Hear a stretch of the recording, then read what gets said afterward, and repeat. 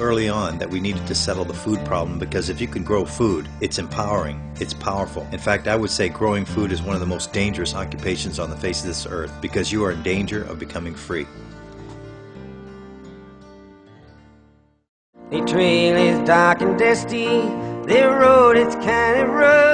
Started back there when uh, you know the hippie movement. Uh, I was part of that. Had a transformation back then. I think the defining moment had something to do with the Vietnam War. That generation was that I was part of was graduating from college, and they were being subject to the draft. The war ended in the fun times for me, and I had to uh, be serious about things. And then I found myself thinking, hey, wait a minute. There's different ideas. There's alternatives to think about. And so I put on the brakes and backtracked and said, what can I do that I really want to do, that I really need to do? I started asking questions about hey, what, what are we uh, here for? And uh, what do we put on this earth for, to do? And asking questions, I guess that's a dangerous thing. Today, agriculture is going far beyond nature to produce new miracles. 2001, when we found out that genetically modified food had entered the food supply, I said, You did what? To me? To my food? To my children? And as soon as I knew that they had attacked my children with this foreign stuff, I got mad and I said I had to stop this once and for all because we were just fiddling around. This was a seminal moment that I said I'm not going to take this any longer. I knew I couldn't do much about the air we breathe and the water we drink, but when it came to putting this alien food into my children's mouth, I wasn't going to let that happen. So I said we are going to grow as much food as we can here.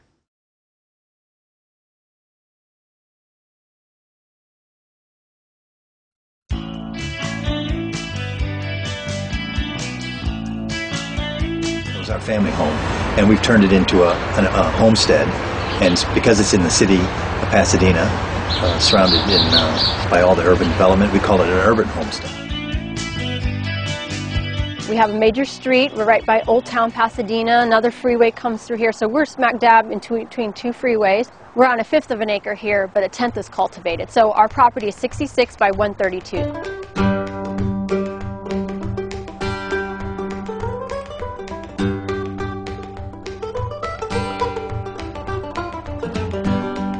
Is my front yard, and this was my first area where I decided to take a stand here and plant something useful for the front yard instead of grass. I said that that grass was costing me too much, too much money and water, too much time. It was it would never look that good, and I decided to make some changes. My lawn fell victim to six inches of mulch.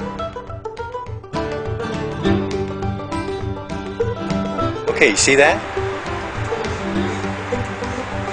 Can you tell any difference?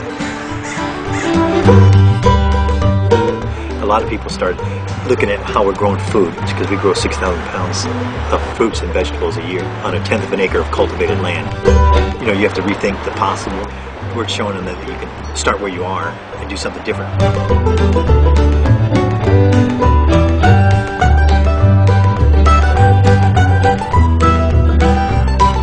Depending on the season, we would say we can get up to 80% of our vegetarian diet grown on our property in the, in the summertime. In the wintertime, we go back to about 50 to 60%.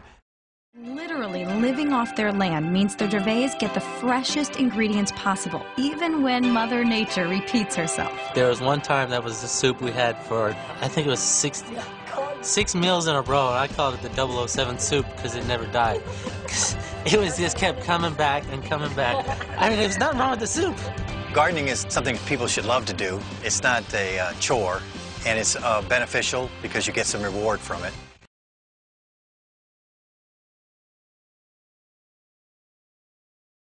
They say the average salad travels 1,400 miles to get to the table. We chose to go a step backwards. Our salad travels 40 feet to our table, many steps backwards. Have you ever looked at your yard and wished that you could do something else with the space? Well, one Southern California family has, and it is amazing. KCAL 9 anchor Ann Martin has more. There's something different about the Dervaes family home in Pasadena. The traditional green lawn has been replaced by a thriving organic garden. We're blessed with Southern California weather, so we can uh, grow almost all year round. So why not take advantage of it? Jules Dervaes and his family take advantage of every square inch. This is okay. beautiful arugula here. Yeah. Do you mind if I just sure, pick help a stem and yeah. so it's all organic? Just, I can sure. just eat it. Yeah, that's right. Nothing's on there. Oh, oh, really good. Here comes lunch. How beautiful is that? All right. Isn't this wonderful? Sitting outside with a beautiful salad we picked ourselves. This is wonderful. And, you know, picking it right then. So what was it, picked half hour ago? Mm-hmm. So you had... Mm. The delicious taste of this salad is all the argument that you would ever need to grow your own variety of vegetables in your backyard. It's so good. It's really wonderful, Jules.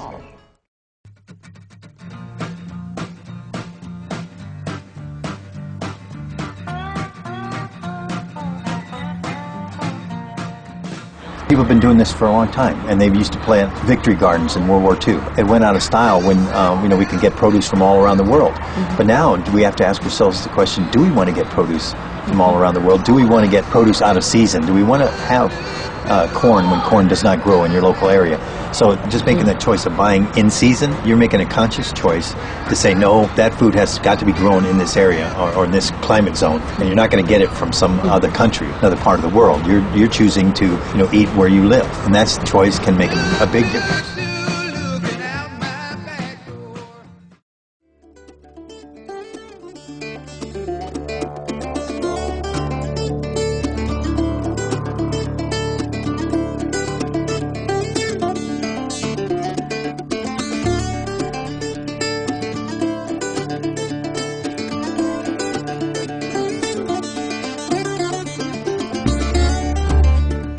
We just picked those today. It's almost like his own garden.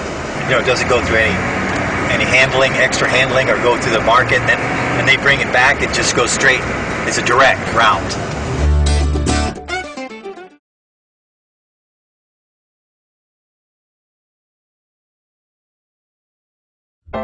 Got a package full of wishes. Get rid of negativity. Uh, we are all plagued by doubts. When I first started this, I didn't believe I could do it. So you have to take a risk. You have to go out on a limb and you have to say, you know, maybe I should try something that I've never done before. And, and just stop being negative and try to do something positive. To believe it.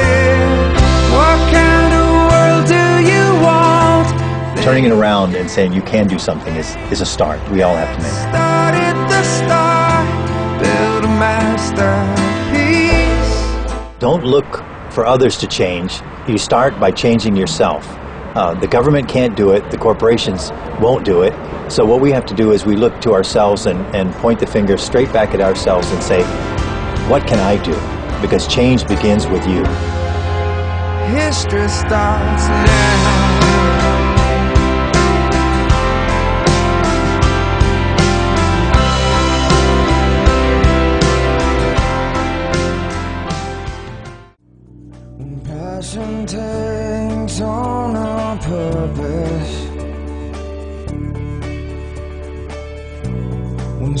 Searching ones embrace the light. You'll know it's here. When the lost find a name they're believing in And they're falling back onto their feet. And the